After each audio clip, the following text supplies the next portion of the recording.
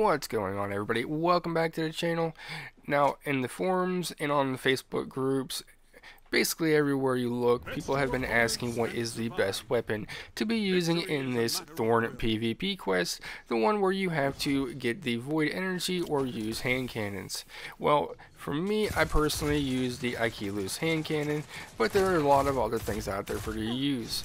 Now, if you're using a hand cannon, there's going to be two options I'm going to give you. If you're using something like the Ace of Spades now that you just normally use in regular PvP, it is a 140 rounds per minute, 3 taps to the head. I would recommend the Kindled Orchid. Now the Kindle Orchid is also a 140 rounds per minute gun. It will 3 tap to the head and it's one of those ones that has the nasty recoil that a lot of I'd say console players prefer not to use. They usually lean more towards the precision hand cannons much like the Trust. Now these hand cannons are the 180 round per minute. It is a 4 tap to the head, but they have much less recoil and are a lot easier for those console players to use. Now if these are the hand cannons you're using daily in the PvP, I would recommend the Ikelos HC, which is a extremely good hand cannon. Not a lot of people use it, but it is the same thing as a Trust. It is a 4 tap 180 rounds per minute precision frame hand cannon. But as I said guys, you don't have to just use a hand cannon. You can use anything that does void damage. So what you should be asking yourself is what you use most. Do you use a pulse rifle? Do you use fusion rifles? And try to pick something you use to go along with that weapon type. Now if you're a pulse rifle user when it comes to PvP, I would recommend three different weapons for you. First being the Last Perdition, which I think is possibly the best one in the game. Now Shaxx has this right now if you're up high enough of a level. If not, you can just pull it out of your collections. But the one Shaxx has is actually a pretty decent rule for PvP.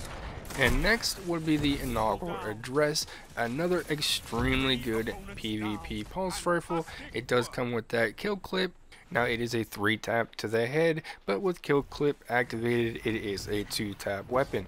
Then last but not least guys, I can't forget to mention the Graviton Lance, which was the meta for the longest time until the Forsaken update, but is still a really good pulse rifle for anything PvP.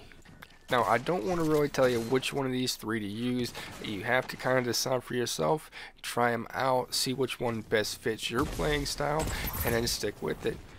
Now, for auto rifle guys, I would just recommend not even using one. There's no good void ones, and really, there isn't exactly a reason to be using an auto rifle in PvP these days. There's so many better things out there that you could be using.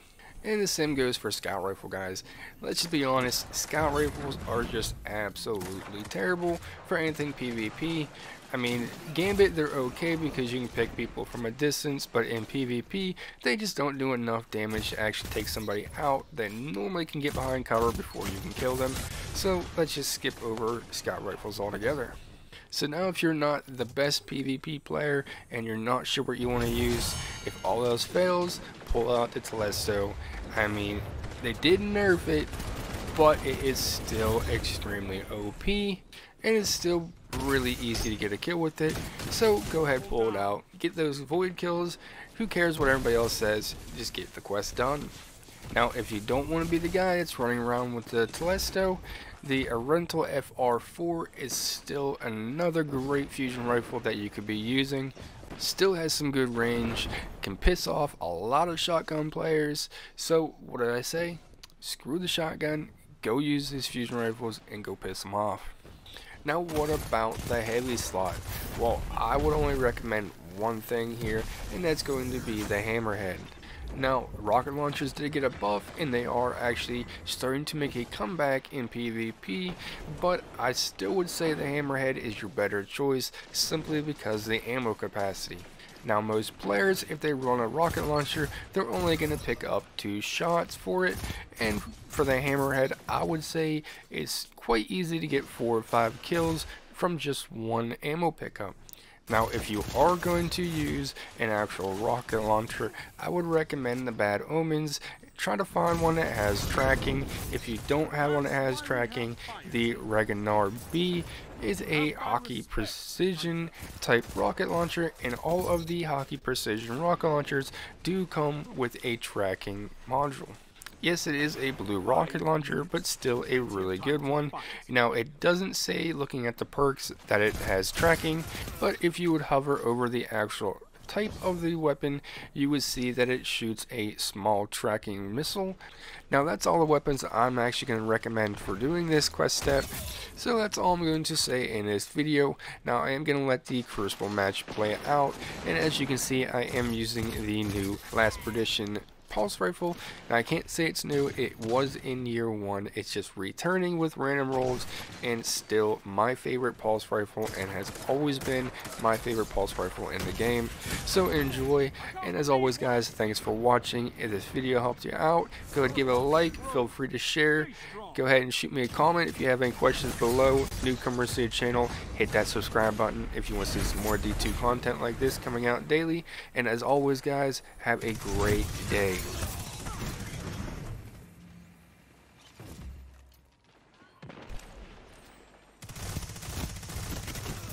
And that's why we have fire teams.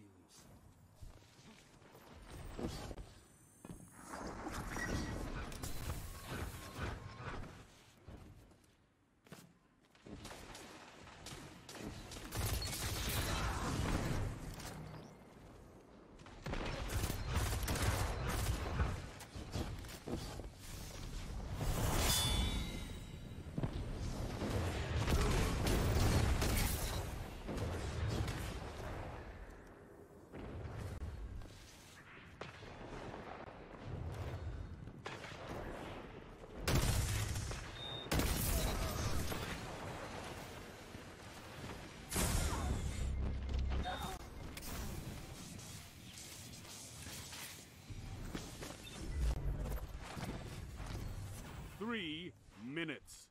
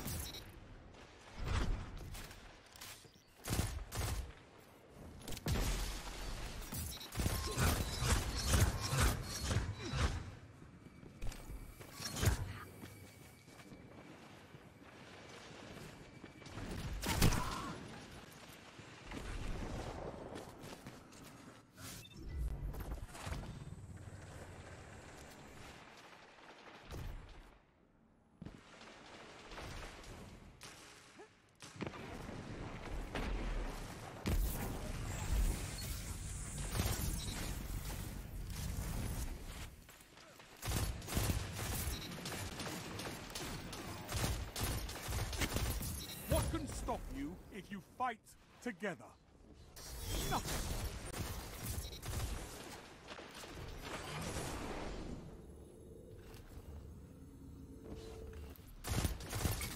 Now you're fighting with heart, Guardian.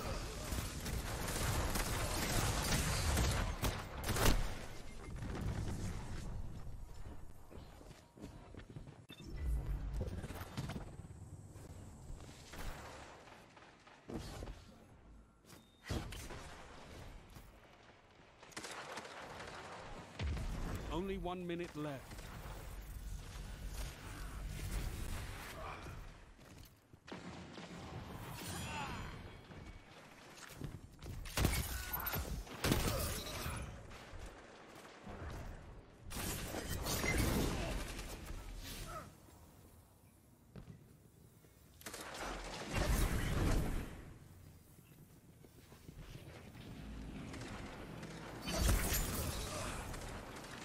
Thirty seconds remaining.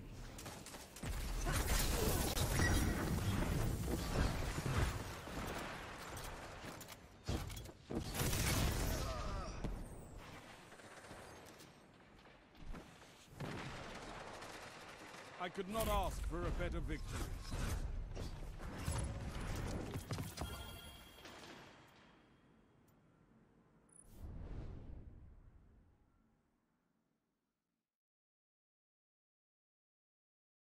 You showed no remorse.